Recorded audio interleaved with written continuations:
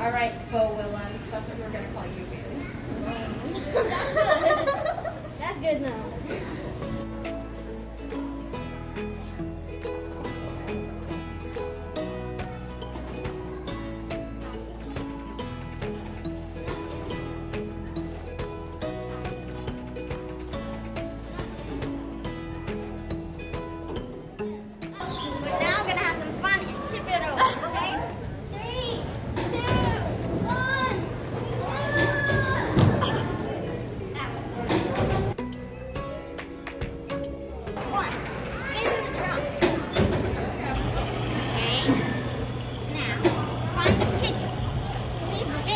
To find items. We're gonna try to find the.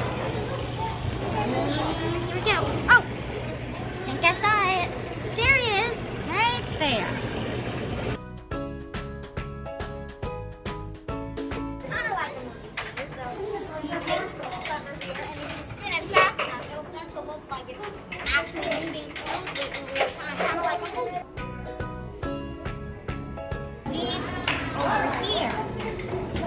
Reflected by the mirror, and it makes it look like a little stop motion. If you spin it fast enough, it looks like he's actually doing it. Try to spin it really good.